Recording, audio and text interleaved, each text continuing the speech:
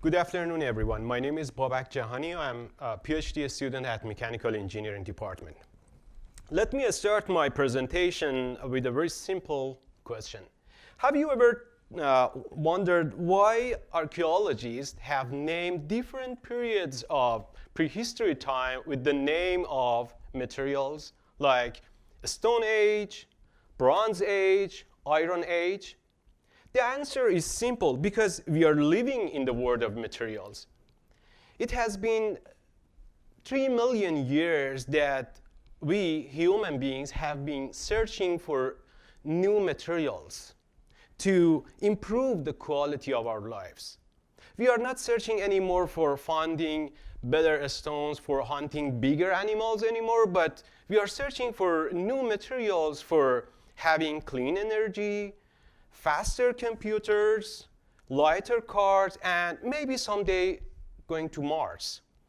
Uh, so following this trend of research, I uh, did my best to develop a new advanced composite, which is stronger, lighter, cost-effective, and capable of changing of microstructure by using uh, iron as a matrix phase and TiB2, which is a member of ultra-high temperature ceramics as a reinforcing phase.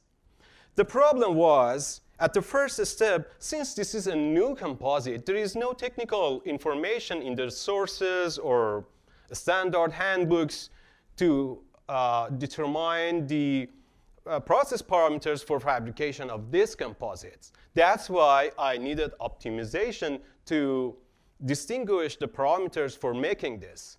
When the uh, parameters were identified and powder metallurgy technique as a cost-effective process was selected, I fabricated different composite samples with different volume percent of TiB2 to see how this reinforcing phase is improving the physical and mechanical properties for my samples.